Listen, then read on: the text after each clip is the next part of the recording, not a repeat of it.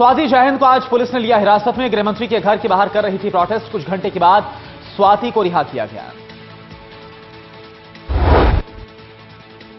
Rape के मामलों में त्वरित कार्रवाई की कर रही थी मांग। स्वाति को मंदिर मार्ग थाने ले जाया गया था। समर्थक थाने के बाहर धरने पर बैठे। छूटने के बाद खत्म किया धरना। मनीष सिसोदिया ने जारी किया नोटिस शिक्षा विभाग के अधिकारियों को जारी किया कारण बताओ नोटिस शिक्षा विभाग की फ़ाइल सीधे उपराज्यपाल को भेजने से नाराज़ हैं सिसोदिया। अफसरों से सीधे फ़ाइल भेजने पर जवाब मांगा। प्रद्युन मर्डर केस में सीबीआई ने एसआईटी टीम के चार सदस्यों से पूछताछ की पूछा।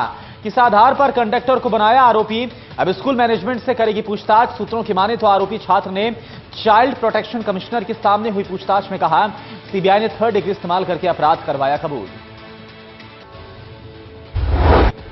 प्रद्युन मर्डर केस के आरोपी छात्र से फरीदाबाद के बाल सुधार गृह पहुँचे परिजन।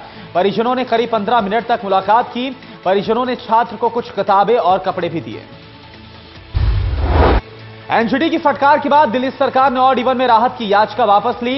एनजीटी ने पूछा, आपने अभी तक मेरे आदेश का कितना पालन किया? पेड़ों पर छिड़काव पर भी एनजीटी ने सवाल उठाए। पर्यावरण संरक्षण पर दिल्ली सरकार की पोल खुली। एनवायरमेंट सेस के पैसों को नहीं किया खर्च। करोड़ों रुपए की रकम में से एक फ़ीसदी से कम को खर्च किया गया। एनवायरमेंट सेस से अर्जित सात सौ सतासी करोड़ रुपए की मिली है रकम। पर्यावरण संरक्षण पर खर्च करने को मिली थी रकम। एक आरटीआई से इस बात का खुलासा हुआ, सरकार की लापरवाही सामने आई। दिल्ली में सोमवार को आधी रात से खाद्यान्न के ट्रक के टोल टैक्स से तीन दिन के लिए राहत दे दी गई है। छूट के बावजूद टोल पर गाड़ियों की लंबी लाइन लगी थी। कैमरा देखते ही टोल कर्मी ट्रकों को निकालने लगे। टोल कर्मियों का दावा है कि वहाँ पर सिर्फ़ ग्रीन टैक्स की वसूली की जा रही है। दिल्ली में बाबा पर लगा लड़कियों को बंधक बनाने का आरोप। लड़की के परिजनों ने पुलिस में शिकायत दी। लड़की से रेप का आरोप लगाया। परिजन की शिकायत पर पुलिस ने तफ्तीश शुरू की। दिल्ली के इंटरनेशनल ट्रेड फेयर की शुरुआत हुई। राष्ट्रपति ने किया उद्घाटन। 18 नवंबर से 27 नवंबर तक आम लोग ट्रेड फेयर का लुत्फ ले पाएँगे। परिवहन मंत्री नितिन गडकरी ने दिल्ली के सराय काले खान से मेरठ तक बनने वाले एलिवेटेड हाईवे के पहले चरण का निरीक्षण किया। गडकरी ने कहा, फरवरी तक दिल्ली के हिस्से में बनने वाले एनएच 24 को जनता के लिए चालू कर दिया जाएगा। स्मॉग और कोहरे से परेशान दिल्ली को मिल सकती है राहत। मौसम विभाग के मुताबिक अगले 24 घंटे में दिल्ली एनसीआर में हो सकती है बारिश, बढ़ सकती है ठंड। दिल्ली महिला आयोग की अध्यक्ष स्वाति मालीवाल और मेंबर सारिका ने बीती रात आनंद विहार बस अड्डे के शौचालय का निरीक्षण किया। निरीक्षण के दरमियान हैरान कर देने वाली सच्चाई सामने आई। बस अड्डे में पुलिस चौकी के नाक के नीचे शौचालय के बोर्ड को ढककर यूरिनल के फ्री होने के बावजूद लोगों से पैसे वसूले जा रहे थे। दुल्हन को लेकर जा रही कार दुर्घटनाग्रस्त हो गई। पूर्वी दिल्ली के मयूर विहार इलाके में चौबीस से नीचे गहरे गड्ढे में जा गिरी कार। हादसे में कार सवार दो महिला घायल हो गई। दिल्ली मेरठ एक्सप्रेसवे के लिए बनाए जा रहे अंडरपास में सही से बैरिकेड्स ना होने की वजह से हादसा हो गया। गाजियाबाद के कोतवाली थाना क्षेत्र के बजरिया इलाके में पुलिस ने होटलों पर छापेमारी की, जहाँ से दो दर्जन के करीब जोड़ों को आपत्तिजनक हालत में पकड़ा गया।